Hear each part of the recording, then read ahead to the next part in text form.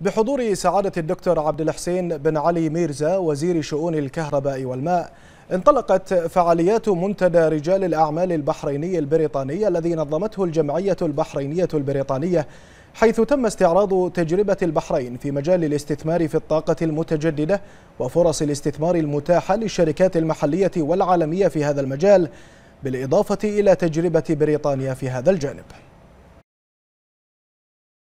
تجارب بحرينية وبريطانية تم استعراضها خلال منتدى رجال الأعمال البحريني البريطاني كشفت عن الفوائد الإيجابية للاتجاه للطاقة المتجددة واستغلالها بالشكل الأمثل تماشيا مع توجهات الحكومة الموقرة واهتمامها البالغ بتشجيع الاستثمار في هذا المجال.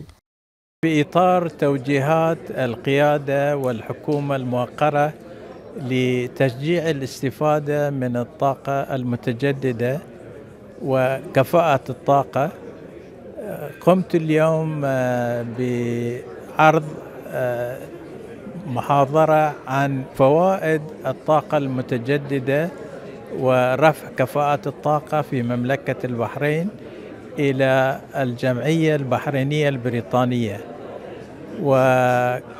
واستعرضت في هذا اللقاء آه، الخطة الوطنية لرفع كفاءات الطاقة والخطة الوطنية للطاقة المتجددة. واستعرضت آخر المشاريع في هذا الخصوص وكذلك كلفتها الآن منافسة للطاقة الأحفورية وتوفر للحكومة الموقرة الغاز الذي يستغنى عن استخدامه إذا استغنى إذا استعملنا الطاقة الشمسية. إن, أن الغاز سوف نستطيع آه، الاستفادة منه في المشاريع الاستراتيجية في المستقبل. هذه المشاريع التي تم طرحها في المنتدى ركزت على الفرص الاستثمارية المتاحة في هذا المجال وسبل للاستفادة من الخبرات البريطانية تمهيدا لتوظيفها على أرض الواقع. المنتدى البحرين البريطاني هو لتطوير العلاقات التجارية والسياسية والاجتماعية بين البلدين. ومن ضمن هالمؤتمر نحاول نستفيد من خبرة بريطانيا في الطاقة آه، الشمسية واستيعابها لإنتاج الكهرباء في كثير من محلاتهم في بريطانيا الآن يعتمدون على طاقة الكهرباء من الشمس.